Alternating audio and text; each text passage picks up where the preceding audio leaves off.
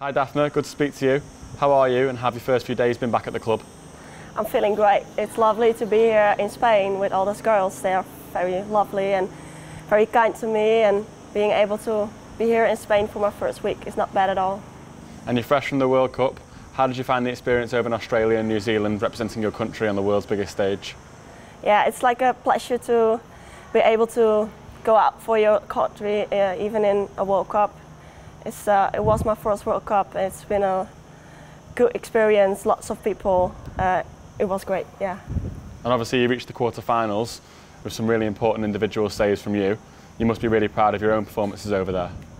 Yeah, I have. Uh, I'm really proud of, about it, but after all, it's like not that great with, that we ended up at the quarterfinals. I think we gonna have gone through if we were a bit better, but after all, I can look back and be proud of what I did and what we did as a team. So.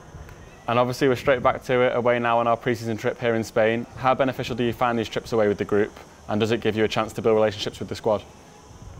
Yeah, it's like the best way to start. You just go in a team, go on a trip for six days. So it's nice to meet everyone and get to know everyone, uh, especially in in Spain. It's like very good weather, good field, good mood. So yeah, great. And lastly, what are your aims uh, collectively as a team for this season and individually yourself?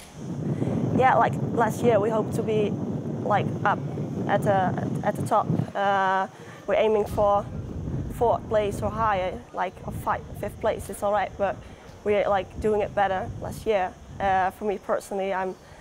I hope I can be important for the team with some saves and be able to help it.